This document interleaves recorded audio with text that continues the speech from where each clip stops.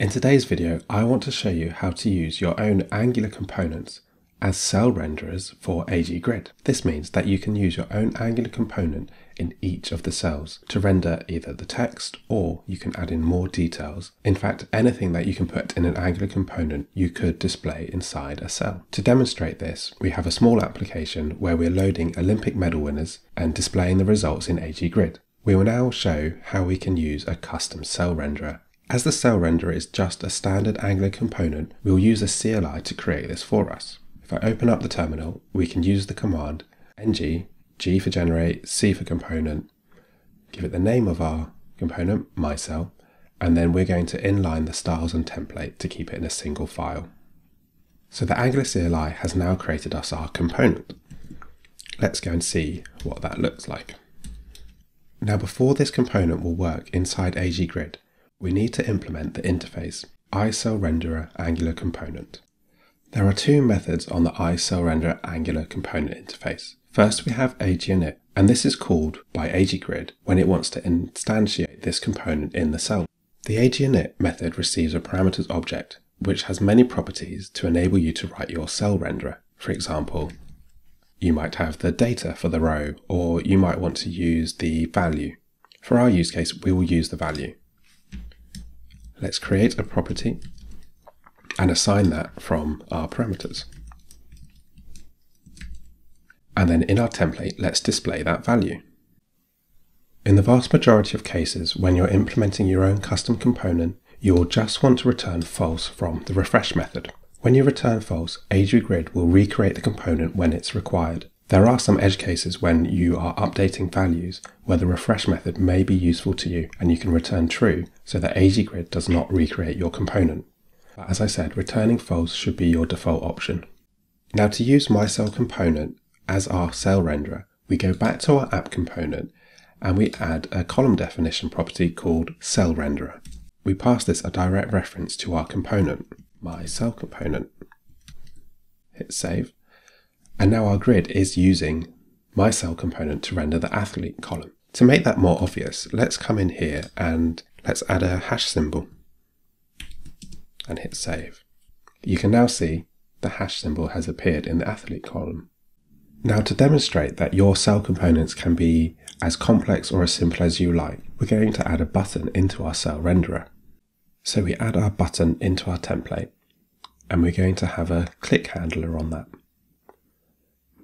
and then we implement that in our component. And then on click, we're just going to show an alert saying what the cell value is. If we save that, we can now see that our grid has click handlers and it tells you what the cell value is. So as you can see, this is a standard Angular component.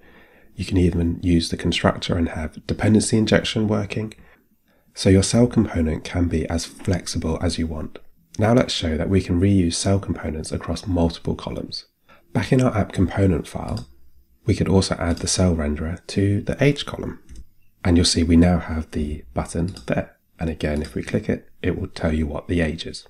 So you can see how we can reuse a component. But what if we want to customize the component for each column that we use it in without having to create a completely new component every time? Well, that's possible via cell renderer params. To demonstrate this, we will pass in a custom button label for the cell component to use, and we'll set it to different values on the athlete and age column. To pass parameters to the component, we use the column property cell renderer params. And on here, we're going to say button text. And we can do the same thing for the age column, but pass it a different button text value. Let's just format our code. Now to use this button text value, we go into our cell component and we will access it via the params object. AgGrid merges whatever params you pass in to cell renderer params with its own parameters. So now let's extract the button text property. And then let's use that in our component. So now you can see that the default value is being used because we haven't yet set it from our params object this dot button text equals params dot button text. Now you can see that TypeScript is complaining at us because button text isn't a known property on iCell renderer params. and that's because it isn't. Now we could just type the params as any, but that's not the best solution that we can come up with. A better way to approach this problem is to define an interface for your custom params. And this way we can tie together our component implementation with the params we expect to be passed to us on our column definition. To do this, let's create an interface called myCellParams, which will have an optional property of button text.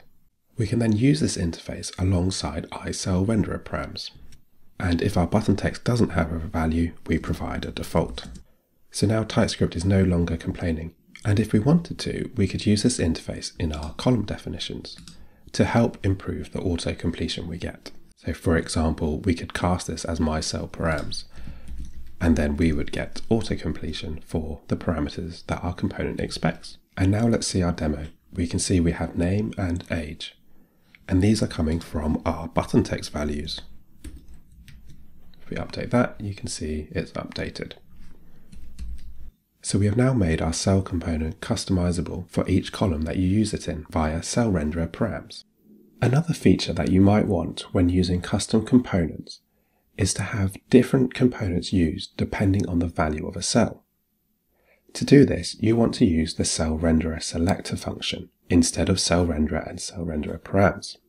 So for example, let's have two custom components for our age. And based on the value of the age, we will either use the under custom component or the over component. So to do this, we replace our cell renderer and the params with cell renderer selector. The cell renderer selector takes a function which receives the same parameters object as your custom components. That means we can write this code to say if the params value is less than 25, then use the component under component, otherwise use the over component.